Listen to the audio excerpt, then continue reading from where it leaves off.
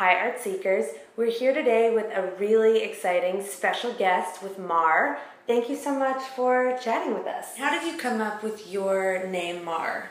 Um, I grew up getting yelled at in Spanish, so to me, Mar is the sea in Spanish. So getting growing up surfing and getting yelled at in Spanish made it so that picking a name for street art graffiti purposes was something that was easy. When you go by this means Mar, I think that's really interesting because if you flip the M and then this means war, then you have this political right. message that you might not have gotten if you just went by Mar. Well, that's the weird thing is in the beginning it was just that I made this sticker and there's a font that was used throughout World War II that it's like the propaganda font essentially.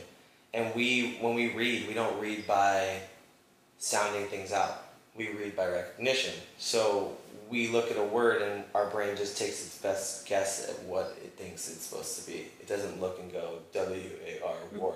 So you see a font and you see a word written, you automatically go to this version of it you think it is, and that's what happens with that font. Is this means war, looks exactly like this means mar. It's a really I thought cool subliminal way to kind of take a back shot at the fact that like we're all programmed and we don't realize it. Do you see your work itself as being political? Um, in the beginning, since I have a political science background, I think of everything in a somewhat geopolitical way.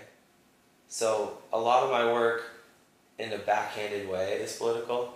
It's not gonna like hit you over the head and say, "Hey, look, I don't believe this," or "You should believe this or this is wrong and this is right. It's more of like, oh, that's cool, that feels nice, and if I explain it to you, the depth of it instantly becomes something where I think that sometimes in order to show that something is flawed, we can't continue to participate hoping we're going to change it. We have to opt out and really let people realize that this is a like flawed system and that doing the same thing over and over again and hoping for a new outcome is literally just us being insane. So maybe we should try a new uh, way of life, and that's kind of what this whole thing became. Was like, I want to do something significant and say something significant. Well, it seems like you really tackle cultural issues, though, and um, in stereotypes of women when you use images from cult from advertising culture. Is that intentional? Or are you trying to make um, us examine certain ways that just, you see the world? I think that Instagram especially has made it's it's like over sexified this whole entire world that we live in even further. And it's made it so that like women on the daily put themselves into this little glass box that men have created for them.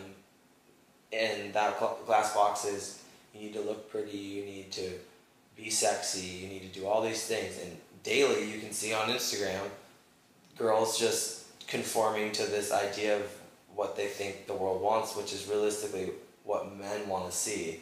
And it's just made it so that there's this whole entire generation of people pandering to each other for attention based solely upon what it is they look like. And so at the end of the day, the women I use are ones that are the most famous or that are the most pretty because that's what society wants, but they don't want to see them put in a way that makes them look not pretty. I, that's why I ran away from imagery, just because I didn't want to have to deal with people's agendas and people's. I didn't want to deal with people. Period. Essentially, it was like let's move you from the equation. It's like we're the weakest link here. We're not. We're not this like wonderful thing that we all need to pat each other on the back for. They're kind of like Mondrian. It seems like your work is more pure than that. It's on a different kind of plane when it's just about the simplicity and sophistication of the design. It's about the feelings and like composition and stuff as opposed to making you an image that you can pick out and understand. It's more about like, oh, that canvas gives me this feeling of this and that and makes me want to do or say this or it makes me you know whatever memories it brings up or whatever thoughts it makes pop out of your head right then and there that's part of the dialogue i'm trying to have with you as opposed to like oh that is a banksy piece on global warming and you know exactly what he means and you get the you know the point and he's probably right and it's probably really witty and done in a place where global warming is affecting someone and you understand it. Everything that he wanted to get across to you is done in a great, concise way.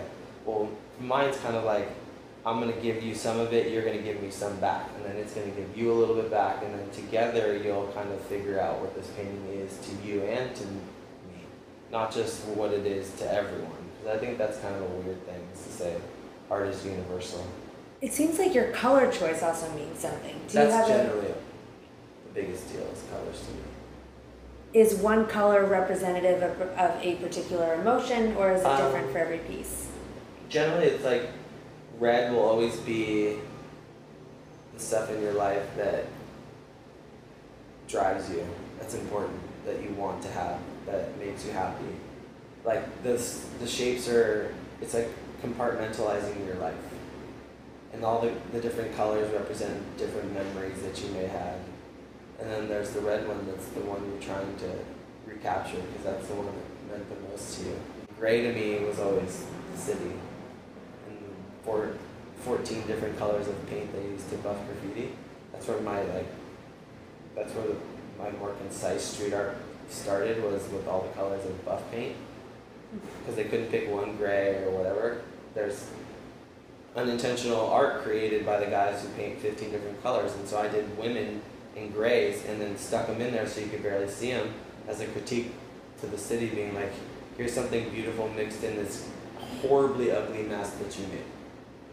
Beauty can be anywhere. And that was kind of what it was it's just to continue to try and find beauty everywhere you go